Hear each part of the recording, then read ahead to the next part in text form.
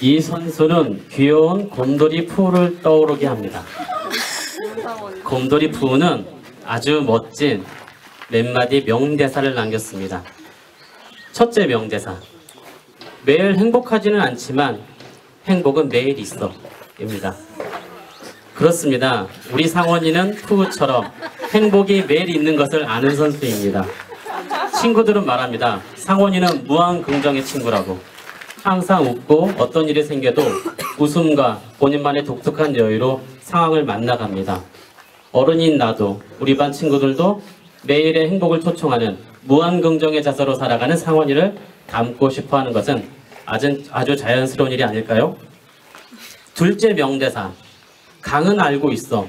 서두르지 않아도 언젠가는 도착하게 되리라는 것을. 상원이는 서두르지 않습니다.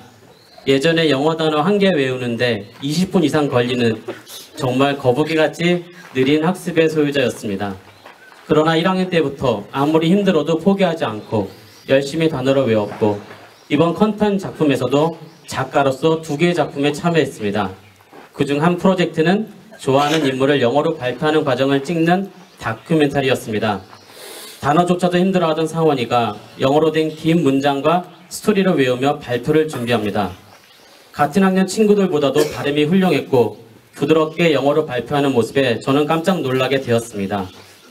보통 사람들은 발표를 하면 자신이 왜 이렇게 서투른지 그리고 못했던 부분은 왜 그리 많았는지 한탄하며 자책하기 쉽건만 상원이는 영어는 아직도 잘 몰라도 아버지 닮아서 발음은 아주 좋다고 환하게 웃습니다.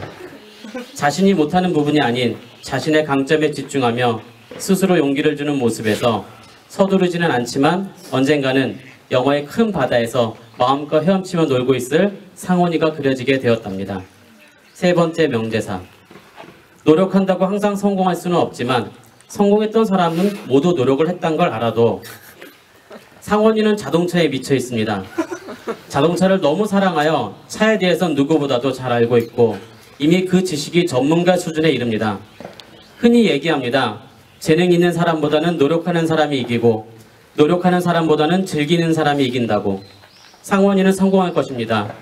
미래는 진정한 전문가들의 세상입니다. 성공자들의 노력 유전자보다 더 멋진 즐기는 유전자를 가지고 있는 상원이는 이미 전문가입니다. 가까운 미래의 상원이를 통해 미래형 자동차를 만날 수 있지 않을까 상상해 봅니다. 그것을 위해 상원이는 아직 부족한 것이 많아도 자동차와 함께할 즐거운 미래를 위해 오늘도 웃으며 힘든 공부도 열심히 무한긍정으로 익혀가고 있습니다. 이와 같이 밤송이 머리를 좋아하고 손재주 뛰어나며 검도도 잘하고 각종 IT에 관련된 상식이 많아서 늘 친구들의 화작거리를 풍성히 제공하는 상원이는 과거도 아닌 현재도 아닌 미래형 인재가 아닐까 싶습니다. 호기심이 넘치고 그것을 행동으로 실천하며 자신만의 즐거운 세계를 만들어가는 상원이가 참 보기 좋습니다. 부모님과 누나에게도 언제나 착하고 순종적이며 레디의 친구들에게 밝은 기운을 전하는 상원 선수를 칭찬합니다. 고맙습니다.